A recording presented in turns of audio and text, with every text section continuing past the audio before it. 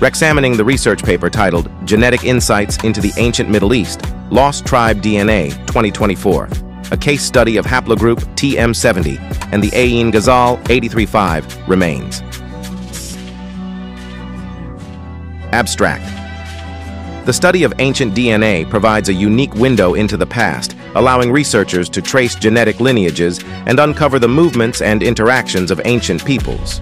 This paper explores the genetic connections between individuals with the Y-DNA haplogroup TM70 and the Ain Ghazal 835 remains, which trace their paternal lineage to a common ancestor. The Ain Ghazal site, located in modern-day Jordan, offers invaluable insights into the genetic, cultural, and historical context of the pre-pottery Neolithic B period. Introduction Ancient DNA analysis has revolutionized our understanding of human prehistory, providing tangible evidence of genetic continuity and migration.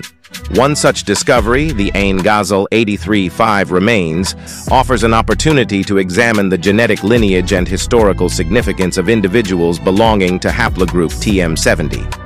This paper seeks to explore how these ancient remains, discovered in one of the earliest and most continuously occupied sites in the Near East, help us reconstruct the tapestry of human history in the region.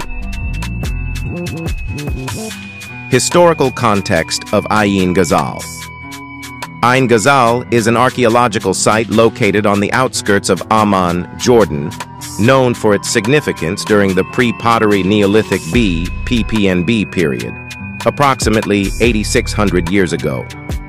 This site was among the largest and most complex Neolithic villages in the Near East, characterized by its monumental architecture, elaborate sculptures, and a sophisticated society that practiced early forms of agriculture. Genetic analysis and haplogroup, TM70. Haplogroup TM70 is a Y-DNA lineage with deep roots in the ancient Middle East. It is characterized by the M70 mutation and is predominantly found in the Levant and Mesopotamia.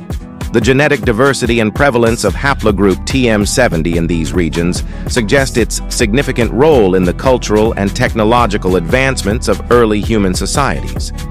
Phylogenetic analysis by family tree DNA has linked this haplogroup to the Ain Ghazal 83-5 remains, aligning them with a broader genetic narrative of migration and innovation.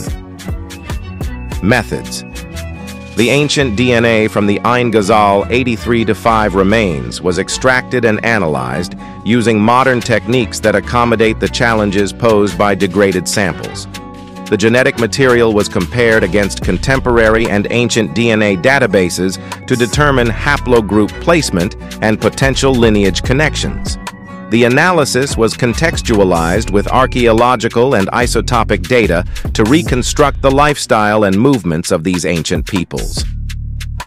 Discussion The Ain Ghazal 83-5 remains offer a glimpse into the genetic past of the ancient Middle East, Despite the challenges in ancient DNA analysis, such as degraded samples and incomplete data, the placement of Ain Ghazal 83-5 in the TM70 haplogroup lineage provides evidence of a continuous paternal line from the Neolithic inhabitants of Ain Ghazal to the peoples of the broader Fertile Crescent.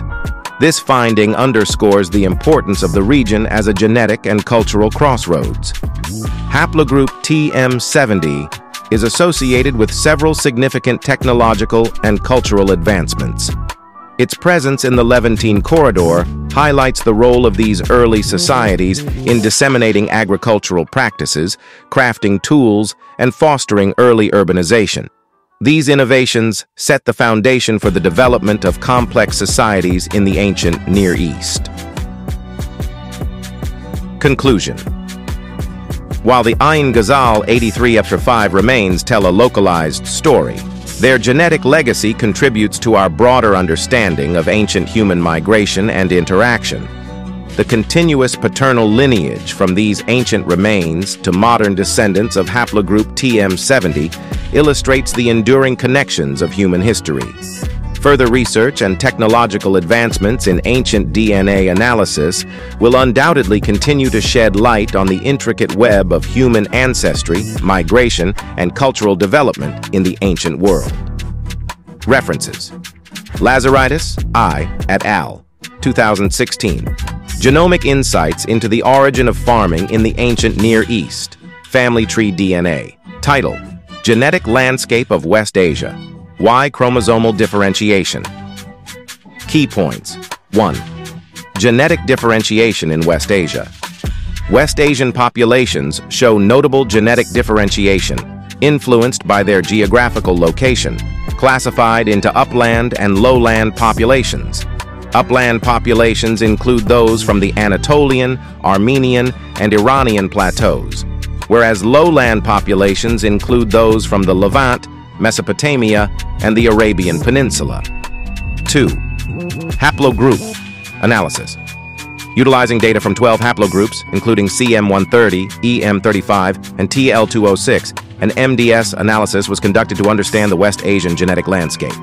Haplogroup T variants, TM184, TL206, TM70, show Asiatic characteristics with a clear upstream linkage. 3. Geographic and linguistic subdivision. The genetic clustering corresponds with linguistic distinctions, separating Indo-European and Turkic speaks in upland regions from Semitic speakers in the lowlands. This separation is traceable to the Neolithic period. 4. Undersampling of West Asian populations. Compared to neighboring Europe, West Asia, including areas like Transcaucasia and the Armenian highlands, remains undersampled in genetic studies though these regions hold significant historical and genetic insight.